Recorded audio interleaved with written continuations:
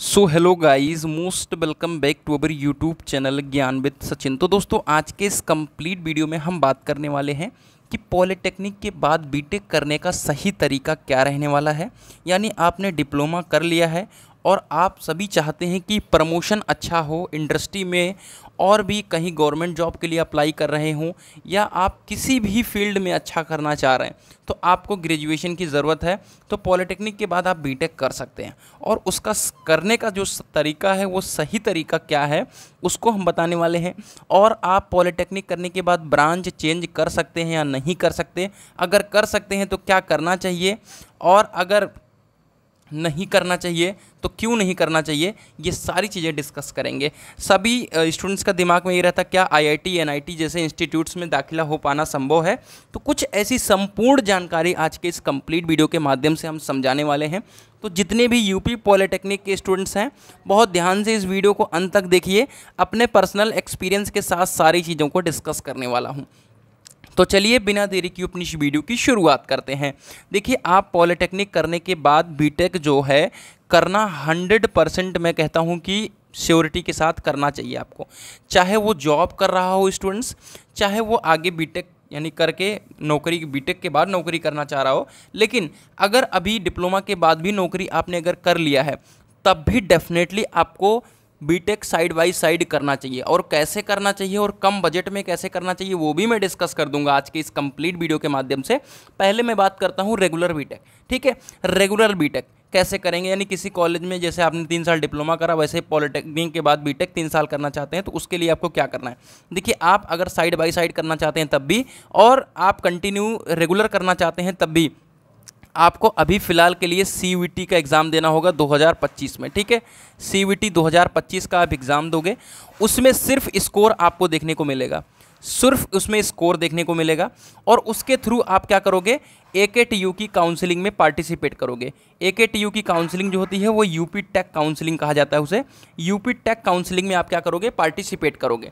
ये सी का सिर्फ़ स्कोर आएगा, यानी नंबर आएगा। यूपी टेक में क्या आएगा आपकी? रैंक देखिए, इसमें क्या होता है, बहुत सारे बच्चों को कन्फ्यूज़न है और मुझे भी था, लेकिन अब मुझे तो क्लियर है पूरी तरीके से। देखिए यूपी टेक सी का एग्ज़ाम ने आपने दिया, उसका अप्लीकेशन नंबर और मतलब अपने सारे डॉक्यूमेंट को क्या किया? यूपी टेक पर रजिस्टर्ड कर दिया। तो जब आपका सीट अलॉटमेंट आएगा तो जहाँ पर रैंक वाला ऑप्शन रहेगा तो जितने स्टूडेंट्स अप्लाई किए होंगे सीयूटी की बेसिस पे, उसके हिसाब से आपकी रैंक कितनी है, वो दिख जाएगी। आप चाहें तो ट्रिपल एम में भी अप्लाई कर सकते हैं। ट्रिपल एम हो गया एच बी टी यू हो गया, ठीक है? ये दोनों टॉप के कॉलेजेस हैं, ठीक है? और अगर ए के में टॉप के कॉलेज हैं तो वो है आई बस। बाकी केन सुल्तानपुर है बी आई झांसी इन सब का बहुत ज़्यादा स्कोप नहीं रहने वाला है मतलब उतना ज़्यादा वैल्यू नहीं है। अब बात करते हैं ट्रिपल एम ट्रिपल एम और एच बी टी यू दोनों की फ़ीस जो है एक लाख पैंतीस हज़ार है तो हम जैसे मिडिल क्लास फैमिली या एक नॉर्मल फैमिली वाले इसको अफोर्ड नहीं कर पाते, क्योंकि एक लाख पैंतीस हज़ार के साथ साथ इनकी एग्ज़ाम फ़ीस वगैरह देना और इनका रजिस्ट्रेशन जो है पच्चीस रुपये में होता है तो बहुत ज़्यादा क्रिटिकल हो जाता है। तो यूपी टेक में आप जा सकते हो आईटी के लिए, ठीक है? आईटी के लिए आप सभी की रैंक जो है दो ढाई सौ रैंक बनने वाली है, यानी लगभग साढ़े तीन सौ के आसपास का स्कोर होना चाहिए, साढ़े तीन सौ से चार सौ के स्कोर आसपास सी में।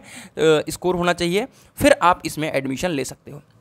अब हम बात करते हैं उनके लिए, जो साइड बाई साइड करना चाहते हैं। साइड बाई साइड करना चाहते हैं। देखिए साइड बाई साइड का मतलब ये होता है कि आप कहीं से भी प्राइवेट बीटेक कर सकते हो। कैसे कर सकते हो? कहीं से भी प्राइवेट बीटेक कर सकते हो। प्राइवेट कॉलेज से, ठीक है? प्राइवेट कॉलेज से। डिग्री कैसी रहेगी आपकी? रेगुलर डिग्री कैसी रहेगी? रेगुलर अब आपका फ़ीस कितना वहाँ पर लगने वाला है? देखिए प्रोसेस को समझ लीजिए क्या है। देखिए, आपकी जो फ़ीस है, वो मैं करा दूँगा और इतनी कम फ़ीस करा दूँगा मेरे प्यारे साथियों, आप जितने भी पॉलिटेक्निक के स्टूडेंट्स हो, कि आपको कल्पना भी नहीं होगा। उतना आप पॉलिटेक्निक कॉलेज में फ़ीस देते हो। कितना? जितना मैं आपको बीटेक करा दूँगा। और आपकी उसमें स्कॉलरशिप भी आएगी और वो भी हंड्रेड परसेंट की स्कॉलरशिप आएगी। कितना आएगी? हंड्रेड परसेंट की स्कॉलरशिप आएगी। और स्कॉलरशिप कितनी आएगी? पूरे पचपन हज़ार। ठीक है? पूरे पचपन हज़ार स्कॉलरशिप आने वाली है। और फ़ीस कितनी करवा दूँगा मेरे प्यारे साथियों? फ़ीस आपकी पूरी पच्चीस हज़ार से लेकर के तीस हज़ार। देखिए, ब्रांच टू ब्रांच डिपेंड करता है। अगर आप कंप्यूटर साइंस से करना चाहते हैं तो कंप्यूटर साइंस की लगभग पैंतीस से चालीस हज़ार रुपये रहेगी। ये सिर्फ़ सी के लिए। लेकिन आप मैकेनिकल है, इलेक्ट्रिकल जैसी ब्रांचेस से आपने किया है और आप इंडस्ट्री में जॉब कर रहे हो इलेक्ट्रॉनिक से किया है और आप चाहते हो कि मैं साइड बाई साइड अपना इंजीनियरिंग करता रहूँ तो आप पच्चीस से तीस हज़ार रुपये में इंजीनियरिंग करोगे और हंड्रेड परसेंट स्कॉलरशिप कितनी आएगी? पचपन हज़ार आएगी। तो तीस हज़ार में से पचपन हज़ार निकाल देना, पच्चीस हज़ार रुपये वो कॉलेज को जमा कर दिया जाएगा। तो ये कैसे पॉसिबल हो पाएगा मेरे प्यारे साथियों? ये वही मेरा अपना जो नंबर है, उसी पे आपको क्या करना होगा? मैसेज करना होगा, यानी अपना इस चीज़ को याद रखना। जब भी एडमिशन कराना हो, ऐसा नहीं कि आज आप मैसेज करो मेरे को, ठीक है? आप मेरे को मैसेज आज करो, ये ज़रूरी नहीं है, ठीक है? अब ऐसा तो नहीं है कि कोई मैं स्कैम वाला हूँ, आपको पता ही है कि तीन साल से ट्रस्टेड हूँ और आप सभी के साथ कंटिन्यू जुड़ा हूँ। कोई भी किसी प्रकार की दिक्कत नहीं है। मैं सोचता हूँ कि आपका ही भला हो, है ना?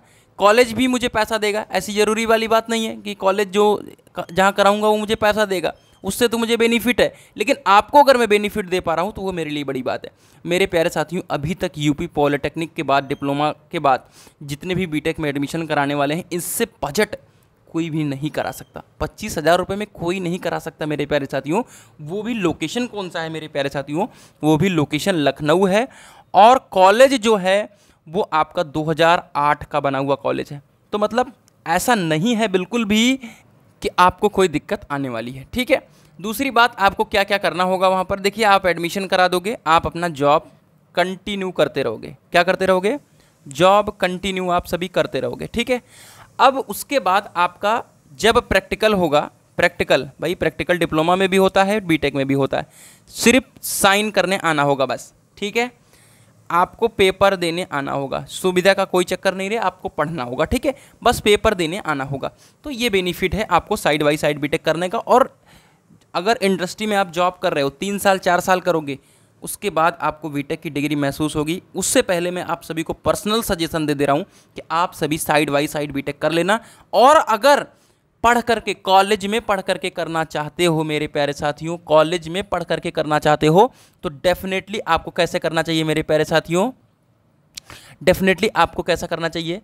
आपको डेफिनेटली रेगुलर वो भी गवर्नमेंट कॉलेज से करना चाहिए। कहाँ से करना चाहिए? गवर्नमेंट कॉलेज से। गवर्नमेंट कॉलेज में कौन से कॉलेज हैं? आपका आईटी है, ठीक है? कुछ आर हैं। प्लेसमेंट यहाँ पर ना के बराबर है इन कॉलेजों में, ठीक है? प्लेसमेंट कैसा है? ना के बराबर है। अब मेरा भी आप पूछोगे कि सर आपने भी डिप्लोमा किया और आप भी बीटेक करने जा रहे हो डेफिनेटली क्योंकि मेरा यूट्यूब पे अच्छा खासा मतलब सब कुछ चल रहा है और अच्छा मुझे लगता भी है, पढ़ाना, लोगों को बताना भी अच्छा लगता है। तो डेफिनेटली मैं आर से करूँगा और अपने घर के बगल में करूँगा, क्योंकि बहुत दिन मुरादाबाद शहर में रहा हूँ, प्रतापगढ़ डिस्ट्रिक्ट से बिलोंग करता हूँ। तो अब अपने घर के बगल ही रहना है। दूसरा ये भी रीज़न है, छुपाने की कोई बात नहीं है कि मेरे स्कोर कम है। और स्कोर कम होने का रीज़न आपको पता है कि यूट्यूब पर एक्स्ट्रा टाइम देना भाई इनकम का सोर्स जो है, उस पर ज़्यादा फोकस करना, उसके बाद काउंसलिंग प्रक्रिया में ध्यान देना, फिर अपना सेमेस्टर देखना और आप लोगों का सेमेस्टर देखना।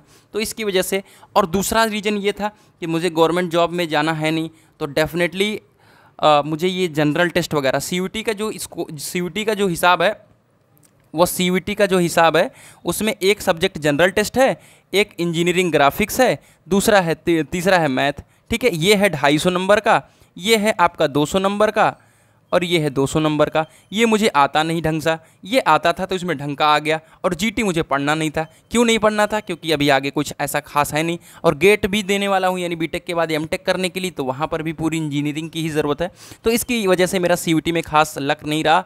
तो इसकी वजह से मेरा स्कोर भी बहुत कम रहा और मुझे इस, ऐसे ही कॉलेज में मिलेगा। बट आर कॉलेज मिल जा रहा है तो मतलब समझ सकते हो कि ठीक ठाक है स्कोर मतलब गवर्नमेंट इंजीनियरिंग कॉलेज मुझे मिल जाएगा, राजकीय इंजीनियरिंग कॉलेज और अपने प्रतापगढ़ में ही लूँगा एडमिशन नया कॉलेज खुला है, जो कि के सुल्तानपुर में रनिंग में चल रहा है तो मतलब पढ़ाई करना है तो पढ़ाई हो जाएगी। और बीटेक के बाद भी प्लेसमेंट का कोई भी अभी यहाँ से तीस, तीन साल बाकी है, इरादा नहीं है। तो डेफिनेटली अभी एम की तरफ़ जाना है, वो भी आई आई से एम करने का, वो भी सपना पूरा हो जाएगा और बीटेक का सपना तो मान लो इधर पूरा ही हो जा रहा है। लेकिन आप लोगों की साइड बाई साइड वाला सिस्टम है, वो आप सभी डेफिनेटली करिए। अब बात करते हैं जो ऊपर मेरा सवाल था आप लोगों के साथ कि क्या आईआईटी में दाखिला संभव है?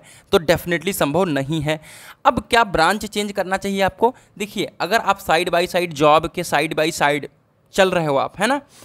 जॉब के साइड बाय साइड आप चल रहे हो तो डेफिनेटली ब्रांच तो वही रहेगी आपको चेंज करने की कोई आवश्यकता नहीं है। अब आप बीटेक करना चाहते हो एक बेहतर कॉलेज से, और आपका स्कोर भी ढंग का है, और आप सिर्फ़ तीन साल तीन साल खुद के ऊपर देना चाहते हो तो डेफिनेटली ब्रांच सीएस वगैरह आप जा करके सेलेक्ट कर सकते हो, और डेफिनेटली हमारे साथ वालों ने भी कर लिया है।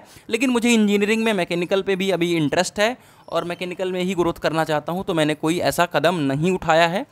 तो ये था पॉलिटेक्निक के बाद बीटेक करने का जो भी आइडियाज़ वगैरह था, वो मैंने पूछ, आप सभी को बता दिया। बाकी मैं गाइड भी करूँगा आने वाले टाइमों में आप सभी को इसी चैनल पर। तो चैनल से जुड़े रहिए, बाकी जो बच्चे साइड बाई साइड कराएँगे, वो ज़रूर कॉन्टैक्ट करेंगे। डेफिनेटली उनका करा के दूँगा।